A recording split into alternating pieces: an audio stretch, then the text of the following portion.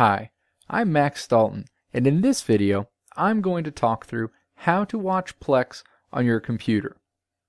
Plex makes it ridiculously easy to access your content on your Plex media server, virtually anywhere, with the exception of your computer.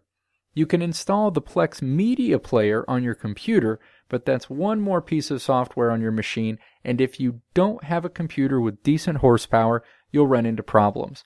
Another option is to access the Plex web app on your network. The experience is acceptable, and you can hit the URL to access the Plex web app and access your content from any computer or smart device connected to your network. Additionally, if you've set up remote access on your Plex media server, you'll be able to access the Plex web app and access your content from anywhere you can get an internet connection. And now, the process for accessing the Plex web app. Open your web browser and navigate to ip4.me from any computer on the network where your Plex media server is located. Your IP address will appear at the top of the screen directly beneath the text you are now connecting with an IP address of. Step 2.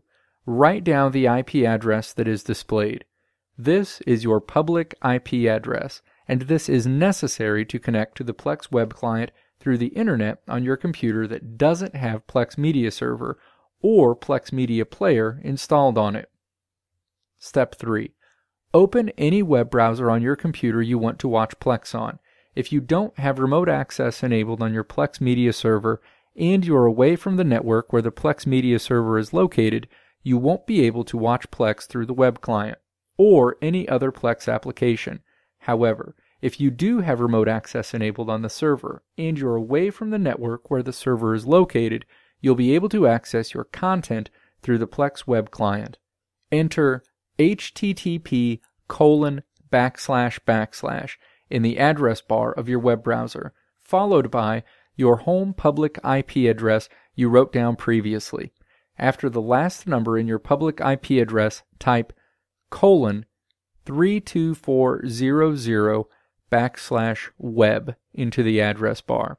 The value 32400 in this address represents the default manual public port associated with Plex.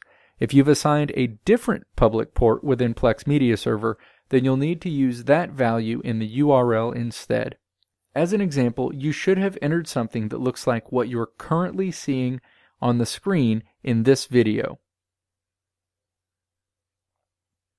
Press Enter.